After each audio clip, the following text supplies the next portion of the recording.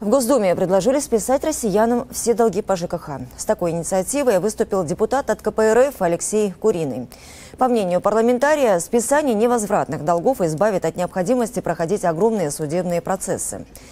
Куриный напомнил, что их невозможно списать даже через суд. В случае подобного обращения ответчик заявит о применении исковой давности.